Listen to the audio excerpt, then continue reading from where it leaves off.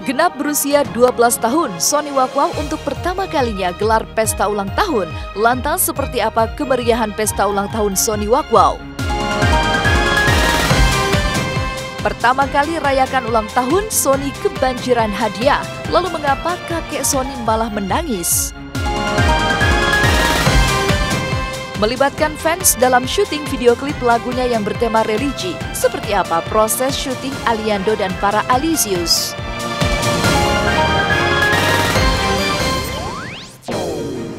Selamat pagi pemirsa Was-Was dengan suasana hangat di pagi hari ini.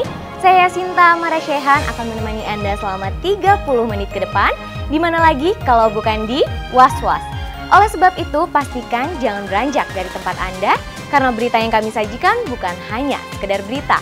Sebab Anda patut was-was sebelum menyaksikan Was-Was.